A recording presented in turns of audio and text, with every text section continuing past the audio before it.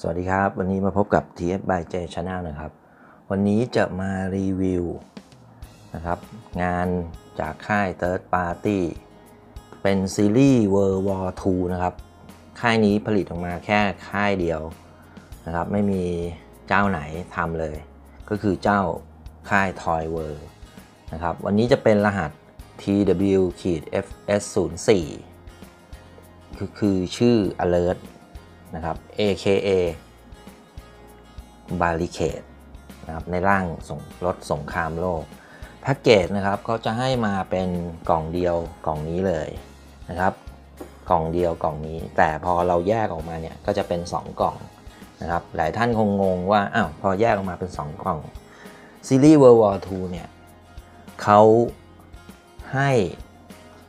อ่าเป็นกิฟต์เซตมานะครับ อีก1ชิ้น ก็คือเป็นบาร์ฟของเจ้า Star Scheme ในร่างเครื่องบินสงครามโลกนะครับอ่าเราจะแกะให้ดู ตอนนี้ออกมาแล้ว 3 ตัวนะครับ ตัวแรกก็คือเจ้าบูลด็อกรถถัง สมัยสงครามโลก ตัวที่ 2 ก็คือเจ้า Bumblebee ของเรานะครับ มาในร่างรถเบนซ์นะครับ ก็จะได้ part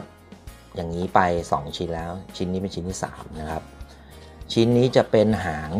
ของเจ้า Starscream เหมือนกัน ซึ่งเคยให้มาแล้ว ดังนั้นถ้ารวม 3 ชิ้นนี้จะได้เครื่องบินครึ่งลำแล้วนะครับ อันนี้คือ part part คืออะไร part คือชิ้นส่วน ชิ้นส่วนนี้จะเป็น 5 ชิ้นส่วนรวมเป็น 1 1 ตัวเจ้า Star Scheme อ่าเดี๋ยวผมจะแปลงให้ดูนิดนึงนะครับ ว่ามันเป็นยังไงจะได้เห็นภาพกันอ่านี่ครับมันก็จะกลายเป็นหางเสือกับปีกหลังของเจ้าเครื่องบินสมัยสงครามโลกนาซีนะครับ ด้านนี้จะมีอีกข้างหนึ่งจะมาประกบกัน ตอนนี้เนี่ยชิ้นนี้เนี่ยมันคือขาของเจ้า Star Scheme นะครับ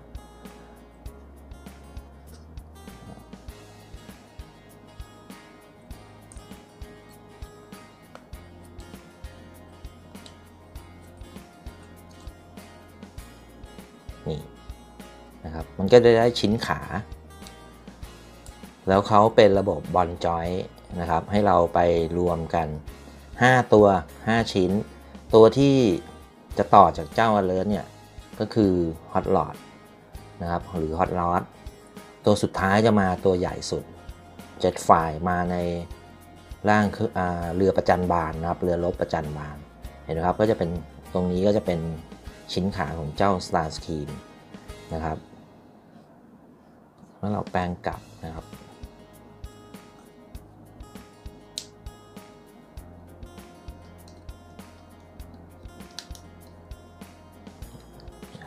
ชิ้นนี้เขาให้มาเป็นเป็นกิฟต์นะครับกิฟต์เซตเป็นกิฟต์เป็นเหมือนของขวัญนะครับอ่าอันนี้ในส่วนของชิ้นที่เป็นกิฟต์เซตนะครับ ต่อมานะครับก็จะเป็นเจ้า alert art box สวยงาม เขาทำซีรีส์นี้ออกมาก็คือในภาคสงครามโลกนะครับที่ในภาค 5 The Last Knight แล้วเจ้า Alert เนี่ยเขายังมีชิ้น part ให้มาใส่กับก่อนหน้านั้นก็คือเจ้า Bumblebee ครับเขาจะให้ชิ้นส่วนหน้าอกมาอีกนะครับนี่คือ Art Box มาในร่างรถ คือผมว่าเป็น Volkswagen แต่อันนี้เขาน่าจะเป็นเลี่ยงบาลีนะครับ ไม่งั้นเดี๋ยวอาจโดนลิขสิทธิ์เรื่องรถ หรือว่าเป็นชื่อชื่อจริงรถรุ่นนี้ก็ได้นะครับ แต่ผมไม่ firm แต่ผมว่าไม่น่าจะใช่ Art Box สวยงามครับ แล้วก็ค่ายนี้นะครับ ก็ต้อง สแกน QR code อะเดี๋ยวเราจะมาแกะกล่องกันครับ สิ่งที่จะได้จากในกล่องของซีรีส์นี้อีกหนึ่งอย่างก็คือเรื่องฐานครับ ฐานอะไร จะเป็นพื้นฐานลายอิฐซึ่งให้วางไว้นะครับ ให้วางไว้ แต่ตอนนี้เนี่ยหลายคนงงว่าเซตนี้เนี่ยเขาให้อะไรมาอีกนะครับ นี่แหละครับที่ผมบอกจะอยู่ในชุดคู่มือนะครับ แล้วก็ยังมีชิ้นที่หลายคนงงอีกว่ามันคืออะไรอ่าอันนี้อันนี้คืออ่าเขาให้แมนนวลมาครับ แต่เป็นกระดาษพลาสติกธรรมดาอะเป็นกระดาษธรรมดา ให้แมนนวลมานะครับแต่ตอนนี้ผมรู้แล้ว นะครับว่าการ์ดนี้มาอีกแล้วนะครับ การ์ดนี้คือน่าจะเป็นการ์ดเคม แล้วก็ คือถ้าไม่มีการ์ดเป็นมันจะมี serial บอกนะครับ บางทีเราอาจจะมั่วก็ได้ว่าของไม่ครบทางโรงงานเขาเลยต้องมีใบ ส่วนใหญ่ Toy World จะใช้ตัวนี้ใบเคลม แล้วก็ปัญหาก็มีแล้วสำหรับชุดนี้นะครับ ลูกค้าได้ไป เจ้าเฟนซี่ หัวไม่มีตัวไม่มี ดังนั้นอาจจะต้องใช้ใบเคลมใบนี้ เขาจะมีซีเรียลบอกนะครับ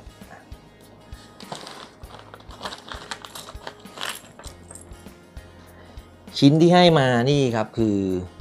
หน้าอก หน้าอกอะไร ซีรีส์นี้เป็น World War II ที่แสดงอยู่ในภาพยนตร์ Transformer ภาค 5 The Last Night แต่ทีนี้เนี่ยค่ายนี้เขาให้มาแบบคลิปเก๋นิดนึง ร่างนี้จะเป็นร่างรถจี๊ปนะครับหน้าจะเป็นหน้าเหมือนประมาณรถจี๊ปให้มาเปลี่ยนกับเจ้า Bumblebee ตัวก่อนหน้านั้น จากค่าย Toy World นะครับเปลี่ยนง่ายๆครับตัวนี้นะครับ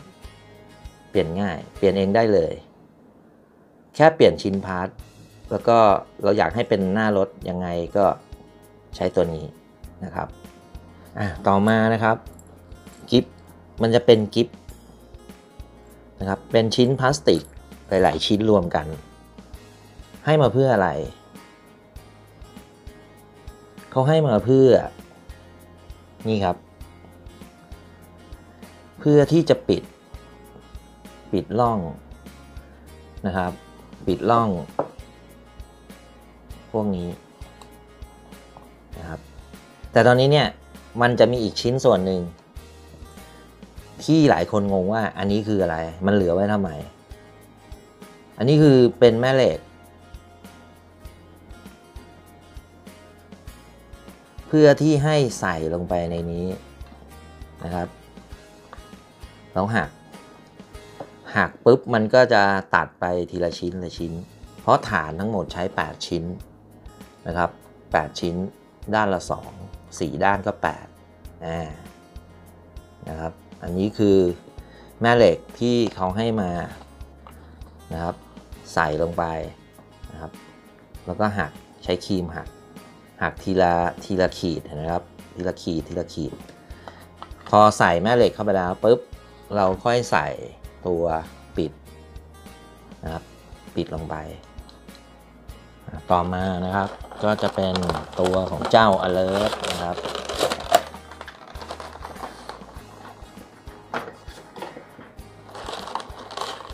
ของที่ให้ก็จะมีเขาเรียกอะไรอะโทรศัพท์ยุคทหารสมัยก่อนนะครับ เจ้า alert หรือบาริเคดหูโทรศัพท์ อาวุธของเจ้า alert โต๊ะเก้าอี้ เดี๋ยวเรามาดูกัน อ่ามาดูที่นี่ก่อน มันเป็นเหมือนในยุคสงครามนะครับของวิทยุสื่อสารของพวกทหาร เห็นไหมครับ มีรายละเอียดดีเทลต่างๆนะครับ มีหน้าปัดบอกครับสามารถหมุนได้ แต่ตอนนี้เนี่ยเจ้าเฟนซี่จะอยู่อันนี้เขาใส่ถุงมาให้นะครับ แต่พอดีผมแกะออกมาก่อนแล้วตะกี้ เลยจะ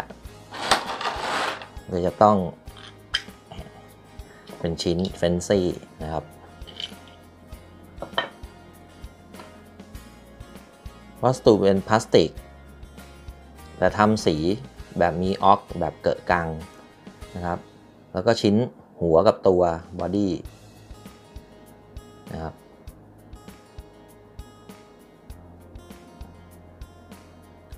แล้วก็มาประกอบกัน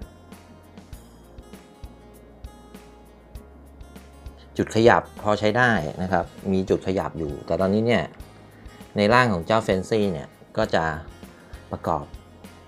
บอบบางนิดนึงต้องระวังนะครับ แขนที่ให้มาจะมีสองข้าง แต่ตอนนี้เนี่ยอะผมจะทำให้ดูใหม่นะครับเขาแยกมาอย่างนี้เราก็เสียบเข้าไปแต่ต้องดูดีๆนะครับ บางทีมันจะไม่ตรงบล็อกมัน มันจะทำให้ไม่แน่น นะครับนี่พอเสียบปุ๊บมันจะแน่น ประกอบไว้ก่อนเลยทั้งสองข้างนะครับ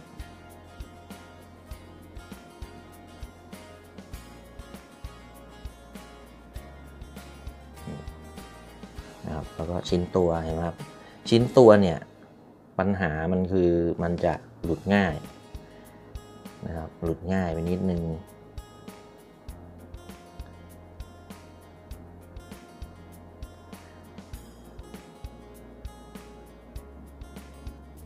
แต่อย่ากดแรงมากเดี๋ยวหักนะครับแล้วก็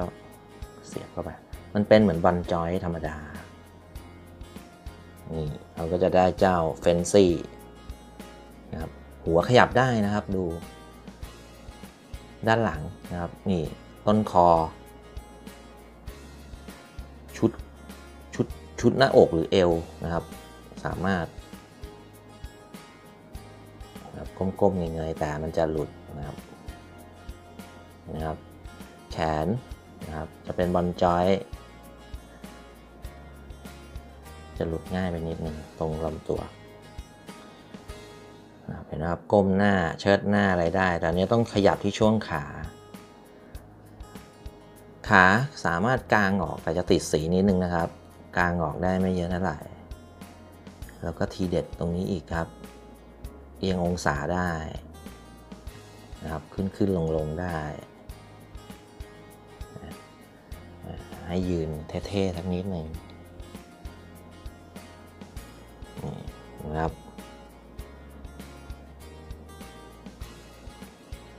ใช้ได้ครับเจ้าเฟนซีน่ารักมากอะต่อไปนะครับ ผมก็จะแกะชิ้นต่อไปให้ชมกัน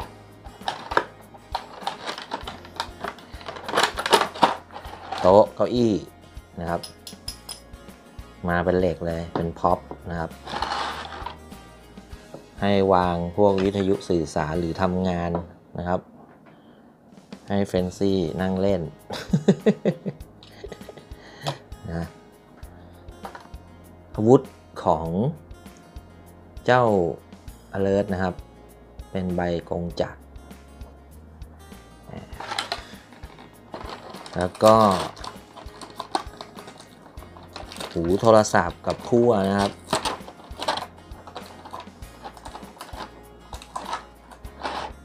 อันนี้เป็นหูโทรศัพท์ ซึ่งเอามาวางเล่นกับวิทยุสื่อสารนะครับนี่เป็นพ็อปเท่ๆ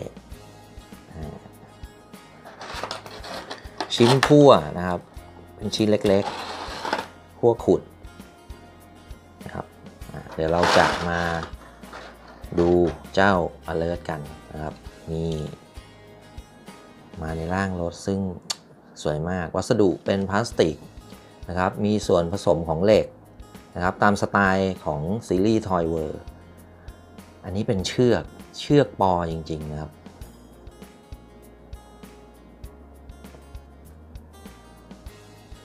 เป็นเชือกปอจริง ทำไมถึงใช้เชือกปอ ตัวนี้สมัยสงครามโลก เวลารถตกหล่ม ไม่มีวินวินคือตะขอเกี่ยวแล้วหมุนหมุนหมุนหมุนนะสมัยก่อนเขาจะใช้เชือกปออย่างเงี้ยครับแล้วก็ใช้ตะขอนะครับคล้องแล้วก็ดึงถ้าสมมติเกิดตกหล่นตกหล่มนะครับนี่คือร่างรถนะครับ การลงสีเห็นไหมครับ สวยงามตามท้องเรื่องเขาจะทำสีค่อนข้างที่จะดีมาก นี่ท้ายรถ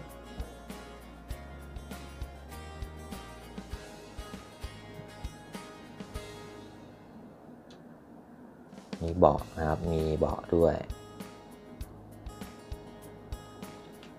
ยางอะไหล่ ซึ่งเป็นหน้ารถ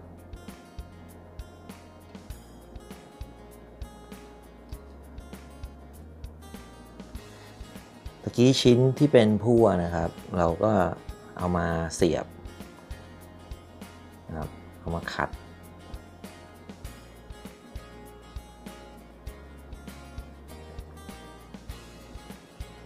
นี่ครับ น่ารักดีนะ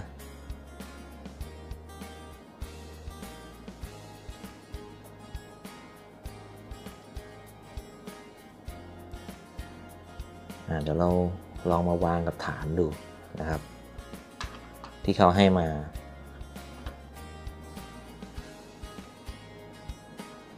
ค่อนข้างที่จะผมชอบนะร่างรถ ให้เฟนซี่นะครับ ไปยืนเล่นได้สเกลเป๊ะสำหรับเจ้าเฟนซี่นะครับ สามารถเข้าไปขับได้นะครับ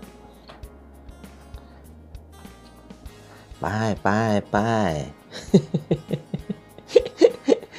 ดูครับน่ารักไหมนะครับ โอเคสวยงาม ผมว่าใช้ได้เลย นี่ป้ายป้ายป้ายป้าย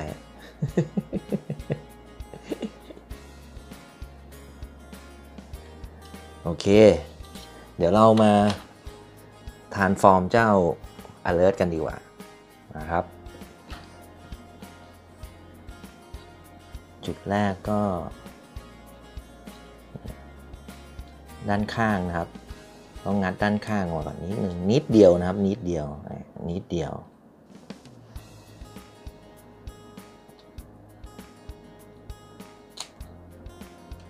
ครับนิดเดียวอะเดี๋ยวผมดึงพั่วออกก่อน เมื่อสองข้างนะครับ ออกแล้ว เรามาปลดตรงช่วงกระจกนะครับ มันจะล็อก เพื่อที่จะเราจะดึงทั้งแถบนี้ออกครับมันคล้องกับตรงนี้อยู่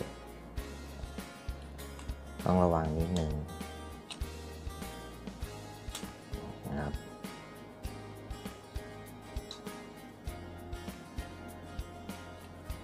ทำเหมือนกันทั้งสองข้างนะครับ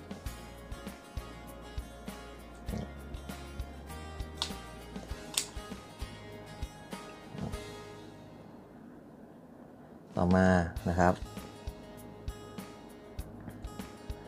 เราก็จะพับตรงลำตัวนะครับเพื่อให้มาล็อกกัน เห็นไหมครับแกนพวกนี้จะเป็นเหล็กหมดเลยนะ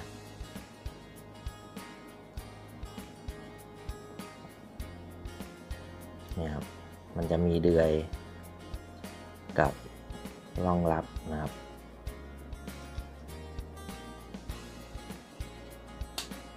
แข็งมากนะครับ พับตรงนี้ก่อนนิดนึงแล้วก็ดันเข้าไป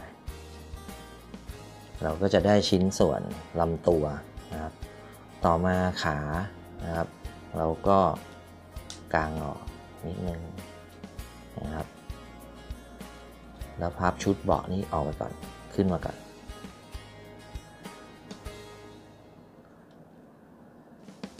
พับ ชุดต้นขาดันขึ้นมานะครับจัดท่าให้เป็นขา จัดท่าให้เป็นขาจัดไงต้องพับขึ้นไปนะครับ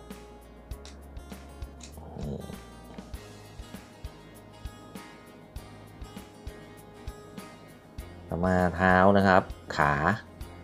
เราก็พับตัวนี้เข้าไป แล้วก็ดันชุดข้อเท้าลงมานะครับ แล้ว แล้วไง ให้มาลงล่อง แต่ตอนนี้เนี่ยมันจะมีรูเห็นไหมครับ มีรูอยู่กับอิฟตรงนี้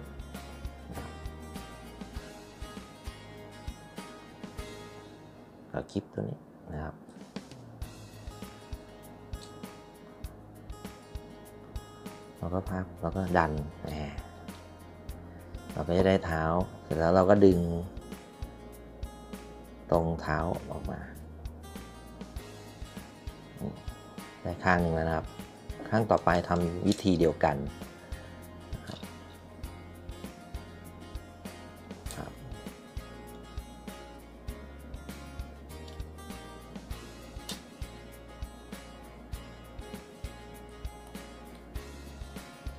อนนี้เราก็จะได้เท้าเจ้า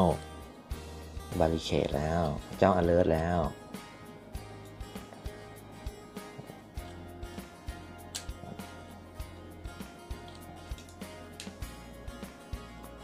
เราก็หมุนแขนให้มันลงมานิดนึงก่อน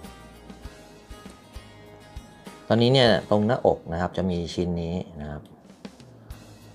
เราก็ดันลงมาทั้งสองข้าง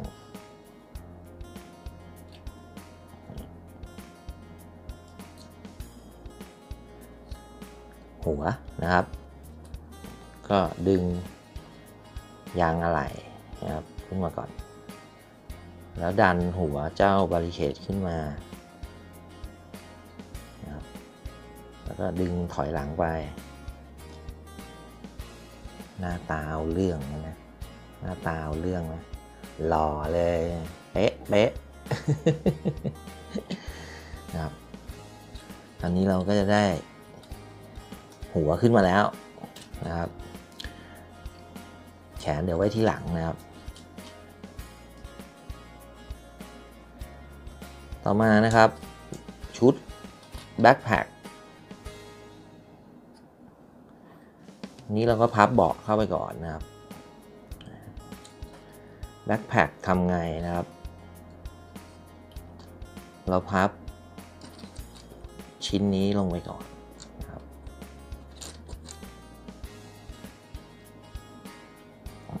ดันให้สุดนะครับ เมื่อพับแล้วนะครับก็ดันกระจกลงให้สุดนะครับ แล้วก็นำแกนตัวนี้เข้าไป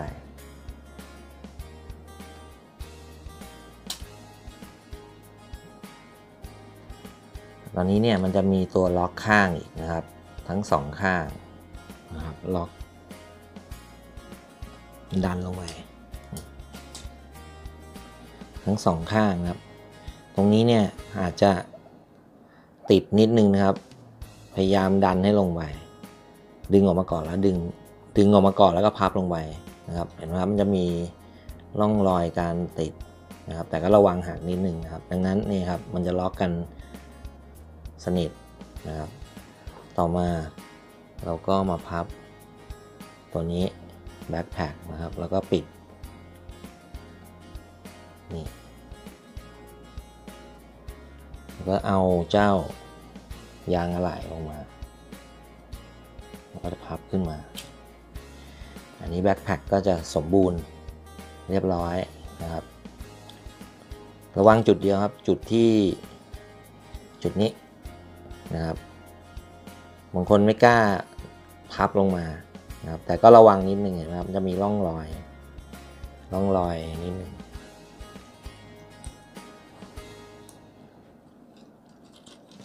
สุดท้ายจะเป็นแขนนะครับ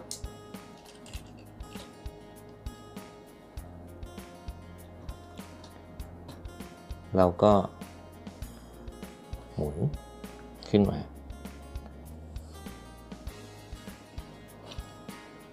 แล้วก็พับ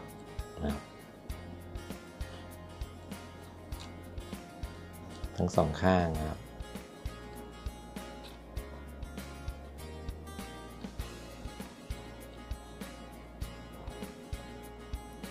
เอามาแขนนะครับปลดล็อกเสร็จแล้วก็พับลงมา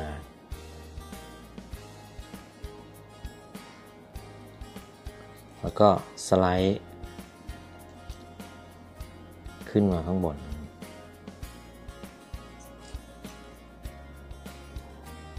เมื่อสไลด์เสร็จแล้วครับ ก็งอนิดหนึ่งจะมีมือนะครับ เราก็พับออกมา แล้วก็กางมือออก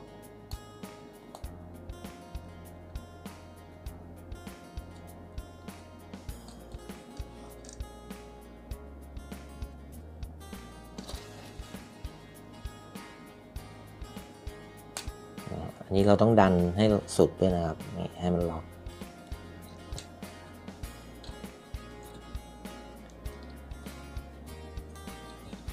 แล้วก็พับล้อเข้าไป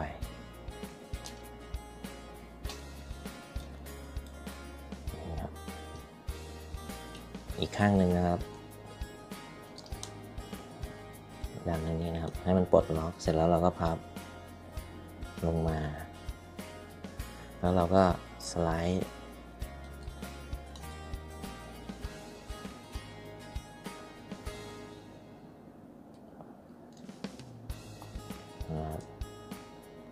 ให้ลงล็อก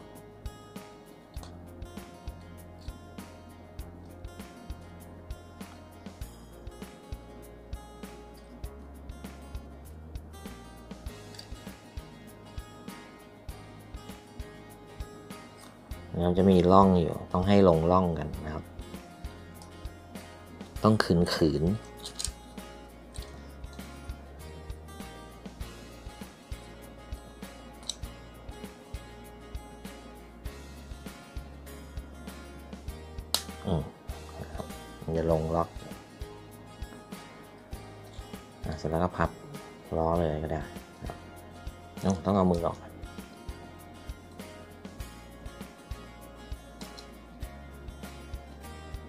บได้ทุกนิ้วเลยนะครับ แล้วเราก็พับล้อเข้ามา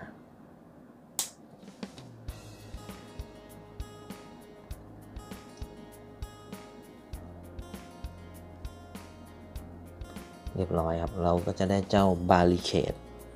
หรือ alert นะครับ ในร่าง World War II สงครามโลกนะครับ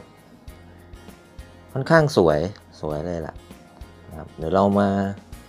ดูดีเทลเขาหน่อยนะครับ หน้าตา หน้าอกใช้ได้เลยนะครับจุดนี้เราก็ดันลงมา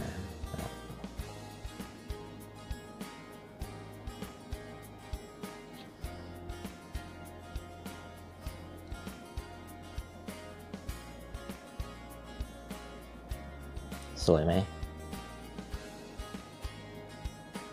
แน่นอยู่นะครับ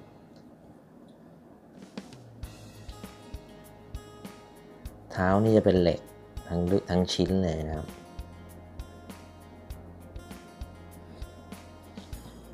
เดี๋ยวเอาเทียบกับเจ้าเฟนซี่สักนิดหนึ่ง เป็น partner กันนะครับ นี่ สเกลกำลังสวยเลยนะครับ เป็น partner กัน มาดูจุดขยับนะครับ หัวของเจ้าบริเคดนะครับเอียงหมุนได้รอบเลย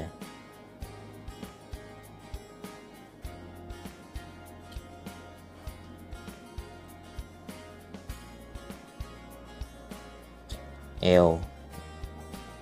บิดได้ มุนได้รอบ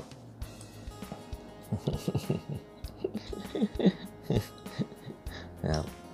แขนกลางได้ประมาณนี้นะครับ แขนค่อนข้างแน่นนะครับ ไม่มี ตกไม่มีหล่นไม่มีอะไร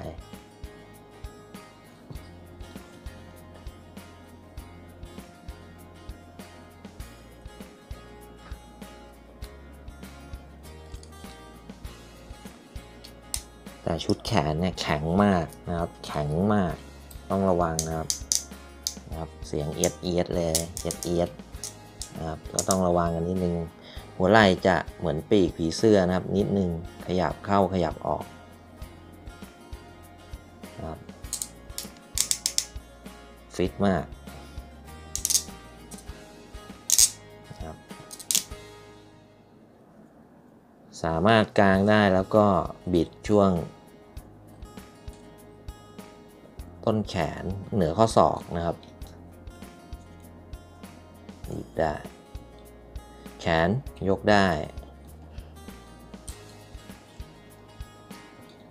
ประมาณนี้พอติดล้อ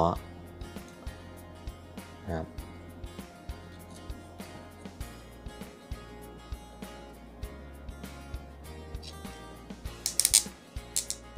ฟิตเหลือเกิน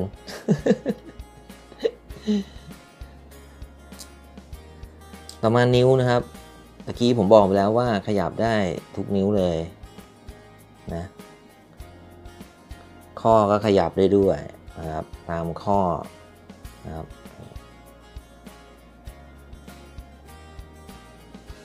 แล้วก็สามารถงุ้มข้อมือเข้ามาได้ด้วย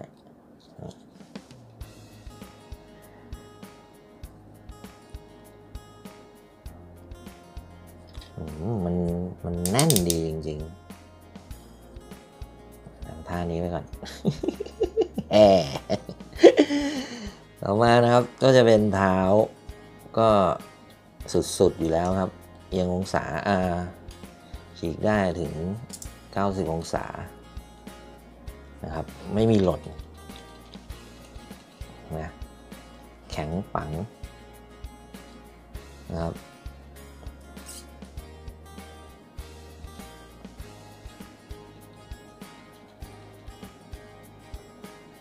ดูก็ทำสีนะครับ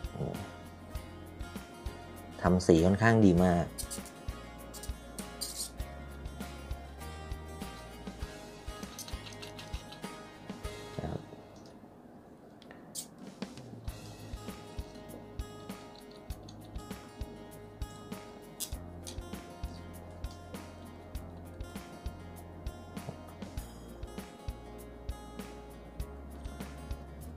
บิดหัวเข่าได้ไหม ได้นะครับ เพราะว่ามีระบบเขาต่ออยู่นี่ใช้ได้ใช้ได้สำหรับท่านที่ชอบจัดท่าจัดทางครับแล้วก็หัวเข่านะครับรับแกนจะเป็นเหล็กครับแต่จะไม่ได้เยอะประมาณนี้นะครับแต่ถ้ายกสุดๆก็ประมาณนี้เลย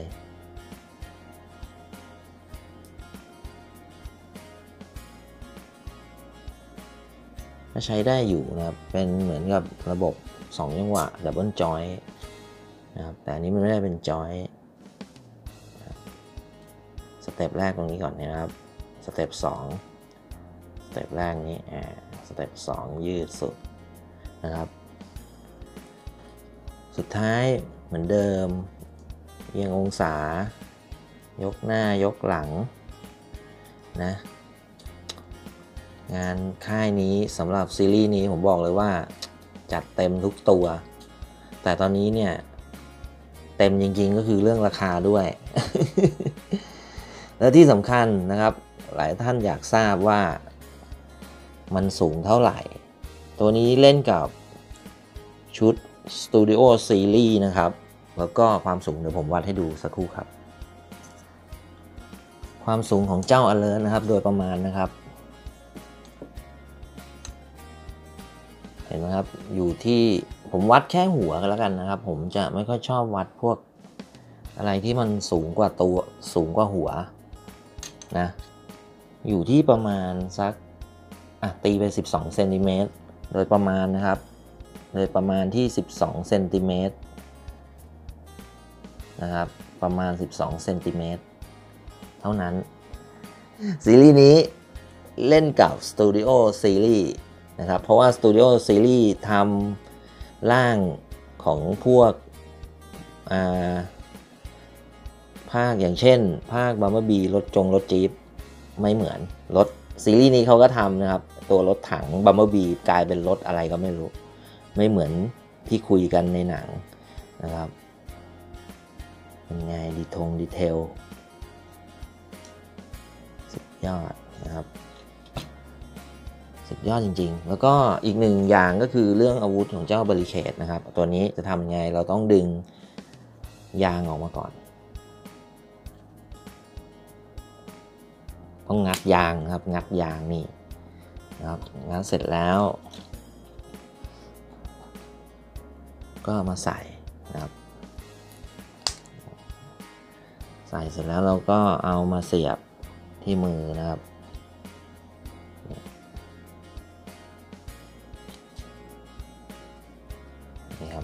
ได้ อาวุธของเจ้าบาริเคดนี่ครับ